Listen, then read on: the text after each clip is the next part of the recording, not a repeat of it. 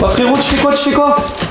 Frérot, je pars en vacances moi Tu pars en vacances? Mais ouais frérot, les PC, l'hardware, les trucs et tout, vas-y c'est bon, ça m'a saoulé gros. Les jeux vidéo et tout, moi je suis là à la playa avec mon petit Ah ouais, cocktail. tu pars en vacances, tu me laisses tout seul, Je t'as- suis plus dans ton délire. On a plein de vidéos à tourner, C'est Mathis. fini pour moi, je pars en vacances. Ne pars pas, me laisse pas Un tout seul. sac, regarde-moi ça, un sac, deux valises et t'es parti frère. C'est quoi ça Je pars au bout du monde, Hein je reviens dans 6 mois. Ça c'est une valise, tu vas me dire. Ouais, tu m'arnaques, tu m'arnaques. Samsonic, regarde Samsonic. Frérot, c'est un PC, c'est c'est cramé là. Mais C'est pas un PC C'est frère. simple, tourne là. Mais c'est pour mettre ses chemises. hein. Pas une valise, Ah, frérot. tout, tout là, hop, tout ça comme ça, tu prends tes petites Ah chemises ouais, et mais toi t'es un arnaqueur, c'est un PC ou c'est une valise C'est pas une valise, frère, euh, ça se voit. Enfin, PC, ça se voit, c'est bon. Pas du tout, frère. C'est un water cooling. T'as cru que j'allais passer un mois sans jouer ou quoi, frère Moi, j'allais faire ma meilleure game de CS à Ibiza, vas-y.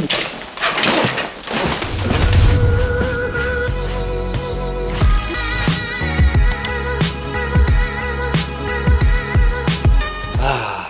Bon les gars, les vacances c'est fini, il va falloir qu'on vous explique comment faire un PC transportable, un PC que vous allez pouvoir prendre pendant vos vacances, et surtout un PC avec le tout nouveau boîtier qu'on vient de recevoir. Il sort aujourd'hui aux States, etc. Mais en Europe, ça sortira fin septembre. Exactement, on a dû signer des contrats et tout, c'était un truc d'agent secret pour pouvoir avoir ce boîtier. Et donc c'est vraiment vraiment une exclusivité, le bug qu'on va monter aujourd'hui. Et le boîtier justement, parlons-en, c'est la marque Height. Et en fait c'est une marque qui a été créée par iBuyPower. Alors on en a déjà parlé, c'est pas très connu en Europe en vrai, mais c'est simplement un des plus gros constructeurs de PC aux États-Unis, enfin de PC tout monté. Un peu une sorte de LDLC américain. ça. et on en avait parlé un jour dans une vidéo, on présentait les PC des abonnés, et il y en avait un qui avait une vitre, Ouais, dans sa vitre il y avait des animations et Il y a tout. des Enfin, vitres c'était- High ouais. Power. Et c'est vrai qu'ils se sont fait connaître aussi avec euh, ce genre d'accessoires, etc. Donc on va dire que c'est une structure, je vais appeler ça plutôt une structure qu'une marque, Voilà. qui est bien implantée dans le hardware et qui a l'expérience. Donc c'est intéressant comme ça de tester eh ben, euh, leur tout nouveau boîtier. Exactement. Voilà, lancer une marque, c'est pas si simple. Donc on va voir, on va relever les défauts et les qualités. Mais en tout cas, il est original. C'est ça. voit pas euh, beaucoup comme ça. Déjà par sa taille, parce que c'est un boîtier mini TX. En plus de ça, eh bien, il y a une alimentation déjà à l'intérieur, avec tous les câbles déjà mis, etc. De toute manière, on va le découvrir ensemble, mais vous allez voir, ça peut être super intéressant. Mais on va commencer peut-être par vous parler du reste des composants, et on finira avec le boîtier, comme ça on l'ouvre on le découvre C'est ça. ensemble. Malheureusement, il sera pas à gagner. C'est vrai que Non. voilà, à chaque fois qu'on monte un PC, on essaie de le faire gagner. On a un gros concours qui arrive pour les 400 000 abonnés. D'ailleurs, merci beaucoup. Ça arrive très vite. Restez connectés, mettez la petite cloche comme on dit. C'est important. Et Et, ouais, merci hein, d'ailleurs pour les 400 000 abonnés, on a oublié de dire dans la dernière vidéo sur la RAM. Un tout grand merci à vous pour les 400 000 abonnés, ça fait super plaisir. Et vraiment, on va tout donner, et le concours va vraiment vous régaler, donc voilà. Le petit like aussi, n'oubliez pas, hein, les gars, que les vrais mettent. euh, Vas-y, tu sais quoi, on attend 5 secondes pour le petit like. Ouais,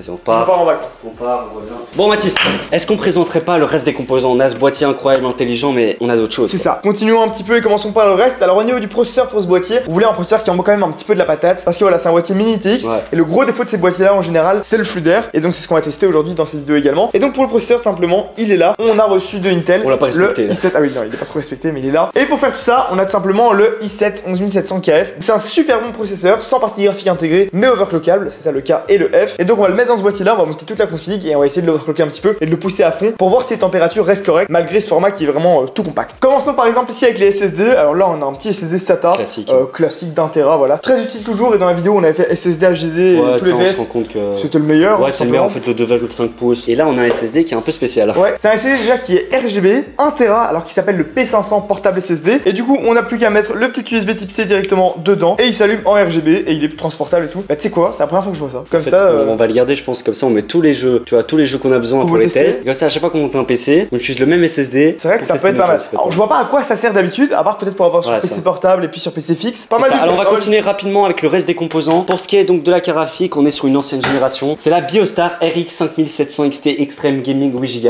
Ah. Euh, Ah. Donc c'est une carte qui est sortie euh, bah, il y a 2 ans, 2-3 ans. Donc euh, malheureusement elle est plus en vente, mais on peut la retrouver en occasion à 600 euros plus ou moins. Le prix est assez élevé parce que pour le minage de Tera, mais je pense qu'elle est assez bonne. Alors pour ce qui est des cartes mères, ils nous en ont envoyé 3, ils étaient trop chauds. Ils étaient trop chauds. Donc ici on a la B560 GTQ, donc c'est de l'UATX, c'est comme du micro ATX. C'est ça. Donc c'est euh, le milieu de gamme de Biostar. Puis on a deux Valkyrie, c'est le haut de gamme de la carte mère chez Biostar. Ouais. On a l'ATX et le mini TX. C'est ça. Le choix va être vite fait. hein. Voilà, ici pour ce boîtier là, vous imaginez bien, on ne peut prendre que des cartes mères en mini TX et donc on va utiliser celle-ci. Mais en gros, les fonctionnalités sont exactement les mêmes sur les deux cartes. Et donc c'est vrai que la carte est minuscule. Moi j'adore. Moi j'adore le mini c'est vrai que les Valkyries sont assez jolies, etc. Il y a un petit design sympa. En fait, moi je trouve que le code couleur de la carte change euh, des autres. Elle a un design spécial. Elle a un design spécial, Je vais vous la montrer, regardez. Et j'ai regardé au niveau des prix, c'est pas tellement plus cher que les autres marques. Ça reste des très bonnes cartes mères. Donc voilà, c'est juste que c'est moins connu, qu'on va peut-être faire moins confiance. Arrière, on a aussi pas mal d'USB. On a deux USB 2.0 et puis 5 USB 3.2. Donc franchement pas mal. Un port Ethernet 2,5 gigabits. Voilà, il y a, il y a tout le nécessaire. On n'a pas l'habitude d'avoir des cartes mères avec des codes couleurs comme ça. Euh, soit t'aimes, soit t'aimes pas. hein. Mauvais vraiment- doré, faut aimer. C'est ça, aimer. faut, faut aimer. Alors Mathis, je te propose de pas perdre trop de temps, de directement commencer ce petit montage PC C'est qui, quoi qui va Ah. être compliqué. Installons-nous, mettons-nous bien. C'est ça. Et on va déballer le boîtier. C'est ça, avec la petite SRAM G-Skill, toujours Voilà. la confiance dans. Allez. On y va, c'est parti Allez. Et voilà, on se retrouve maintenant pour le déballage du boîtier. On va passer un par un pour essayer d'avancer un peu sur le montage. On va commencer par déballer le boîtier comme on le fait d'habitude pour les montages. C'est vrai qu'ici, on va se concentrer dessus parce qu'il est quand même assez spécial. Et donc, son petit nom, c'est le Height Revolt 3. Ah ouais. Ah, il, il a l'air stylé. Hein. C'est vrai qu'il est pas très grand. Hein. Putain, excellent. Tu sais à quoi il me fait penser? On dirait vraiment une putain d'Xbox Series X comme ça. Oh ouais, j'avoue, On va regarder un petit peu de tous les côtés. Ah, J'ai l'impression qu'on voit déjà l'alimentation à travers. Il est vraiment perforé de tous les côtés. On voit déjà ici le petit endroit. On va venir mettre la lime. On voit bien que c'est un extender, c'est pas directement l'alimentation. Donc à mon avis, il y a un câble qui part de là et qui va à l'alimentation quelque part à l'intérieur. On va voir comment est-ce qu'on l'ouvre. Ici à l'avant, on a aussi le front panel. Hop, qui est déjà là. C'est vrai qu'il fait assez futuriste. Et ici, on a simplement le bouton d'allumage juste là. Puis on a deux USB. On a un USB 3.2 Gen 2 et un USB 3.2 Gen 1. Et puis ici, on a un petit port USB type C et un jack, je suppose. À mon avis, il faut juste tirer sur les plaques. Ah voilà. Ah oui, ça va, c'est facile. T'es monté Hop. Non, il y a des petites, euh, il y a des petites boules tout simplement qui, qui se retiennent à l'intérieur. Ça fonctionne pas mal hein, avec des petits filtres anti-poussière à chaque fois. Et là, on voit déjà la lime du coup. On voit déjà la lime avec le petit logo High by Power directement. Et là, il y a deux prix. Je sais qu'il y a moyen de lâcher sans l'alimentation et avec l'alimentation. Avec l'alimentation, c'est 250 euros plus ou moins. Et sans l'alimentation, on est à 120 euros. Donc c'est vrai que c'est quand même cher, 130 euros pour l'alimentation. Mais ça va encore parce que du coup, c'est une alimentation au format SFX. Donc c'est des toutes petites alimentations pour les petits boîtiers. Et en plus, on a 700 watts en 80 gold plus. Du coup, voilà, c'est quand même vraiment une bonne alim. Mais si vous arrivez à trouver moins cher, vous pouvez le prendre 100 et puis l'ajouter. euh, Ça, c'est vous qui voyez. Et moi, ce que je remarque, c'est que les câbles sont déjà installés. On a déjà les câbles qui attendent ici pour la carte graphique. Comme elle va venir se mettre à la verticale comme ça à l'avant, on a déjà les câbles qui sont là. Et ici pour la carte mère, les câbles sont déjà là aussi. Je vais juste récupérer la petite boîte pour les vis. Et d'ailleurs, il est entièrement modulable. Pour pouvoir monter le PC, c'est vrai que c'est assez compliqué. On se dit par où on va commencer, etc. Et en fait, ici, on a un rack pour radiateur. Je sais que ce boîtier accepte le water cooling jusqu'à 280 mm, donc c'est déjà pas mal. Alors, comment ça fonctionne ici? Ah, ça fonctionne en, en coulis. Ok, c'est comme une espèce de porte comme ça. On l'ouvre et puis on peut venir mettre la carte mère dans le fond. Et d'ailleurs, la carte mère accepte la RAM jusqu'à 5000 MHz. Donc, euh,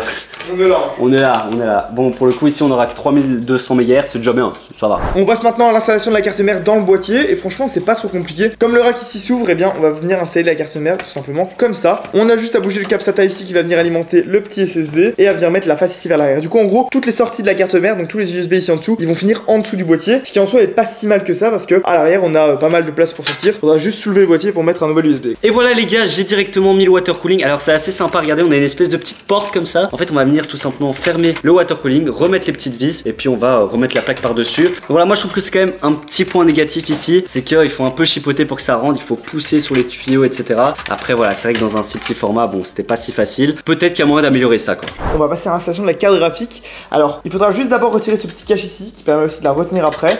Et une fois que c'est fait, normalement, elle rentrera nickel. Et ce boîtier d'ailleurs supporte les cartes graphiques jusqu'à 335 mm, donc ce qui normalement euh, comprend la plupart des gros modèles. On amène la carte graphique en face du slot, on la pousse dedans. Et voilà, elle est installée. Elle rentre vraiment nickel, mais il reste pas beaucoup de centimètres. hein. Il doit rester 4 ou 5 cm maximum. Donc euh, voilà, c'est vraiment tout juste. Maintenant qu'on a fini de monter le PC, les gars, vous voyez, il est complet juste là. Franchement, au niveau du câble management, il y avait rien de plus simple. Tous les câbles étaient déjà installés et directement là, on allait devoir les brancher. Donc ça, c'était vraiment super. Seul petit bémol pour moi, c'est vraiment l'installation du water cooling. Là, dans notre cas, on a utilisé un water cooling vraiment pas très connu. Et en fait, selon les sockets et là où il va falloir mettre les tubes, eh bien, vous allez devoir le mettre d'une certaine manière. Il y a une manière optimale et recommandée par iBuy Power pour pouvoir bien fermer le boîtier. Malheureusement, ici, on n'a pas pu le respecter pour le laisser dans le bon sens. Et c'est ce qui fait que le boîtier est assez difficile à fermer ou même qu'on entend voilà que ça frotte un petit peu. Ça, pour moi, c'est quand même assez dommage. Par contre, chose qui est super intéressante, c'est au niveau des températures. Pour les températures de la carte graphique, du coup, on avait 72 degrés en stress test. Après, on a une puce qui est pas super performante non plus. C'est pas une euh, RTX 3090. Pour le CPU, là où on a eu un peu peur, eh bien, on était au maximum à 52 degrés, qui est vraiment, vraiment, vraiment très peu. Alors, on l'a pas non plus overclocké autant qu'on le voulait, étant donné qu'on avait déjà peur. Mais en tout cas, de stock et à 100% de son utilisation, eh bien, il était au maximum à 52 degrés. Ce qui fait que ça reste vraiment très correct. Le fait qu'il n'y ait pas de ventilateur, c'est finalement pas trop un problème. Comme on a vu, il chauffe pas trop. Et donc, c'est quand même une réussite. Au niveau du prix, 130, 150 euros, ça peut être un peu cher. Mais quand on regarde les autres boîtiers en mini TX, on se situe euh, dans cette gamme de prix. Donc, c'est plutôt pas mal. La grande force avec ce boîtier, c'est les petits accessoires comme on a ici. Je vous fais un plan maintenant. Avec la petite poignée au-dessus. Donc, vous pouvez le transporter. Voilà, si vous partez en vacances, euh, en championnat e-sport, etc. Et puis, on a les deux petites, euh, les, comment on appelle ça, les deux petits supports casques. Et puis, pour ce qui est de la configuration, donc la 5700 XT avec un i7, ça donne quoi? Faut savoir que c'est une carte qui est quand même assez ancienne, qui est utilisée principalement pour le minage. On n'aura pas non plus énormément de performance, mais ça tient quand même la route. Malheureusement pour la 4K, il faudra passer son chemin. En tout cas, si vous êtes intéressé par le boîtier, il sortira donc fin septembre directement sur le site d'iBuy Power. Et euh, j'ai hâte de pourquoi pas tester une petite config iBuy Power. Franchement, ça ferait plaisir. Ça hein. serait cool, Avec hein, ça la teintée où on peut mettre euh, des animations qu'on veut et tout, ça pourrait Ça peut être sympa. Donc voilà, n'hésitez pas en tout cas à liker la vidéo si elle vous a plu. On le compte petit sur vous, les commentaire. gars. Et si vous voulez qu'on refasse des petits builds comme ça en mini TX, un peu plus compact, etc. C'est avec grand plaisir. On se dit à la prochaine, Mathis. Allez, à plus